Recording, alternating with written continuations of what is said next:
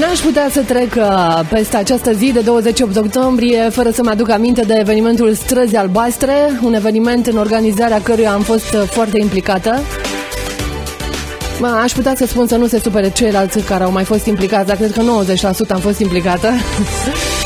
Uh, un spectacol ce a avut loc în orașul Iași pe 28 octombrie 2013, un eveniment prin care ne-am dorit să informăm cât mai mulți părinți de existența autismului și schimbarea percepției legate de tulburările de spectru autist, despre stimularea prin terapie timpurie care a avut uh, și are mari șanse de a aduce progrese și chiar independența copilului.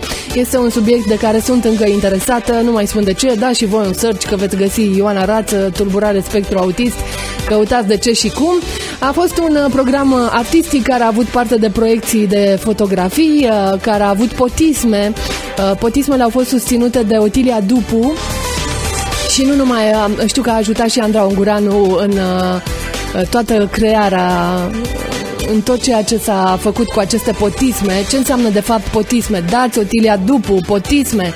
Sunt oameni care um, în, în Iași, cel puțin că de acolo a pornit ideea, deși uh, se ocupă de cu totul alte lucruri, uh, au și pasiunea aceasta de a face ceva pentru comunitate, pentru societate. Otilia Dupu este unul din acești oameni și puteți să căutați potisme Otilia Dupu.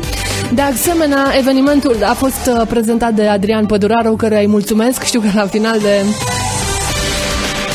la final de spectacol uh, m-am dus uh, la ei, la toată echipa care s-a implicat în această organizare. Eram atât de stresată încât oamenii așteptau să le spun ceva. Acel ceva era mulțumesc. și toți stăceau și așteptau să vină mulțumescul. Dar eu eram prea ruptă de realitate și prea obosită, dar îți mulțumesc, Adrian Păduraru, pentru tot ceea ce ai făcut atunci. Un actor desăvârșit.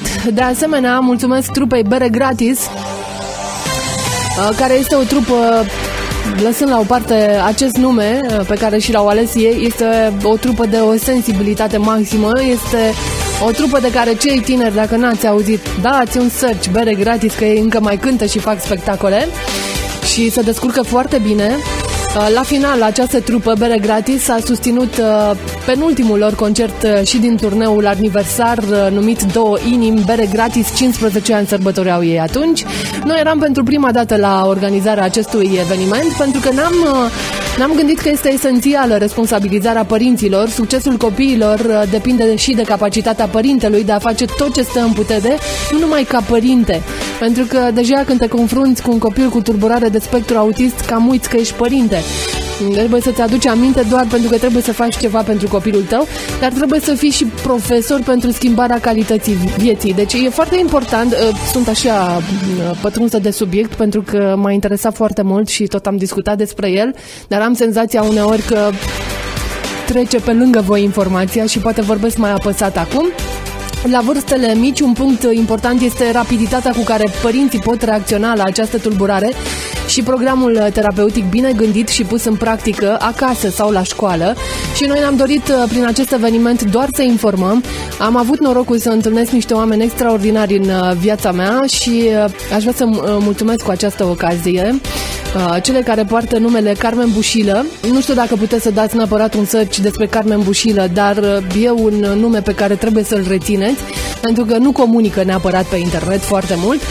Părintele trebuie, de la ea am, am învățat cele mai multe lucruri, părintele trebuie să înțeleagă cât de important este rolul lui în educarea propriului copil, depistarea timpurie și intervenția terapeutică adecvată cresc șansele de recuperare și integrare socială a persoanelor cu tulburare de spectru autist, niște lucruri pe care ar trebui să le înțelegeți și să dispară ideea aia când auziți de tulburare de spectru autist să dispară reacția aia. Vai, săracul, vai, săraci de voi, vai, vai, săraci cu ce vă confruntați. Înțelegem, dar cred că părinții în acest uh, context au nevoie de altceva din partea prietenilor.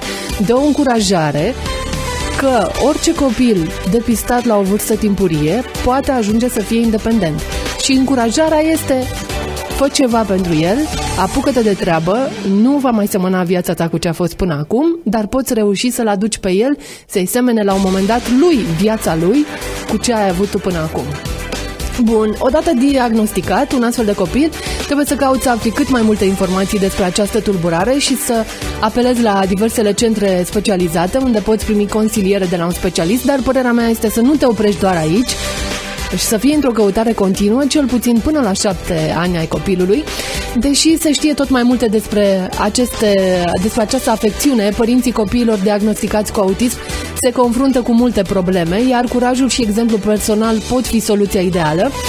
Uh, de-aia um, s-au îndemnat asociațiile atunci în 2013 centrele de consiliere și asistență specializată pentru uh, persoanele cu tulburare de spectru autist și familia acestora să se alăture unui eveniment pentru o bună înțelegere și sprijinire a părinților care încă refuză să creadă despre copiilor că sunt diagnosticați cu spectru autist. Acceptarea este un dar pentru ei și când spunem acceptare, spunem că ne apucăm de treabă. Mă, am acceptat că acest copil are acest diagnostic, diagnostic pe care îl acceptăm foarte greu. Indiferent cât de greu este, vreau să rețineți că pentru astfel de copii, acceptarea este un dar.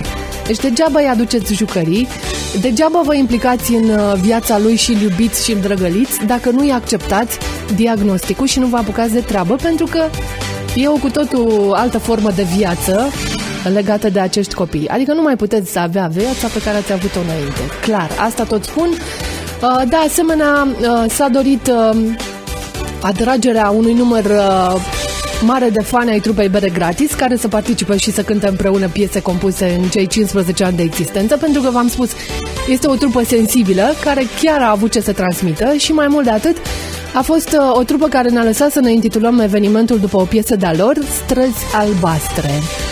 Străzi Albastre se numește piesa, aș vrea să și ascultăm, să ne aducem aminte de acest eveniment, despre care dacă dați uh, un search, veți găsi uh, informații online, cu siguranță. A fost un eveniment ce a avut loc la Teatrul Național în 2013, pe 28 octombrie, un eveniment 100% privat, ca să spunem așa. A fost un eveniment uh, susținut în mare parte de Fundația Vodafone România. A fost un uh, moment în care ei au crezut în ideea noastră și le mulțumim pentru acest lucru. Fundația Vodafone România este cea care s-a alăturat evenimentului, dar au fost și clienți din zona noastră uh, și aș vrea să-i salut cu această ocazie. Este vorba despre Careta, care a susținut evenimentul. Este vorba despre Mado România, uh, este vorba despre Hotel Unirea, despre Dedeman. Uh, sunt foarte mulți clienți care nu și-au dorit să apară pe afișul nostru atunci, uh, dar cărora le-am mulțumit atunci și le mulțumim de fiecare dată când avem ocazia. Un eveniment în care s-a dorit să se continue proiectul Uh, prin realizarea unor workshop-uri destinate părinților în cauză, dar și nu am renunțat uh, la ideea de a organiza la scară largă workshop-uri uh, destinate părinților în cauză și nu voi renunța la această idee, pentru că așa cred că putem uh, să susținem comunitatea într-adevăr și mai ales părinții aceștia au nevoie de încurajări maxime și de o acceptare totală a tot ceea ce se întâmplă în jurul lor. Nu uitați, acceptarea pentru astfel de copii este un dar când vă gândiți la acele cadouri de Crăciun de care și ei au nevoie, clar lucru, oferiți-le și acest dar. Că tot vine perioada, da? Bun. Dacă aveți nevoie de altfel de informații, să știți că aici la radio am, uh, sunt într-o anumită zonă în care nu vă pot, uh, n-aș putea să fac o emisiune doar despre tulburarea de spectru autist. Dar în rest sunt uh, destul de prins așa în online, adică mă puteți găsi, puteți să-mi adresați întrebări fără probleme, chiar dacă îmi tot blochează contul, nu știu cine îmi tot blochează contul pe Facebook, dar mi-am făcut o pagină de like, nu mai știe nimeni cine coordonează pagina de like din spate, nu mai știu pe cine să blocheze, știți? Cam asta e ideea. Am acces la acea pagină de like, Ioana Rață, mă găsiți acolo, puteți să mă adresați întrebări fără probleme. Eu încă mai țin legătura destul de strâns, fac parte dintre mămiciule care au un caz fericit în familie, deci da? Și am văzut și primul diagnostic, mai multe ce să vă povestesc. E de bine. Orice are rezolvare. Hai! Bun! Mulțumesc pentru că m-ați ascultat. E un eveniment care mă ține într-o emoție continuă. 28 octombrie 2013. Mulțumesc, bără gratis. Hai să-i ascultăm.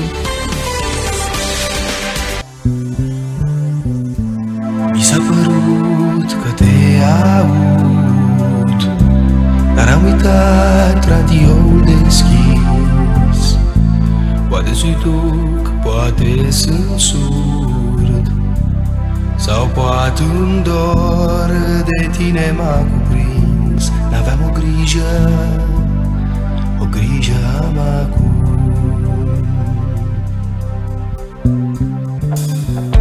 Ți-am pregătit ceva de mâncare Așa cum tu îmi pregăteai. În dimineți când aveai răbdare și spre servici nu te grăbeai Aveai o grijă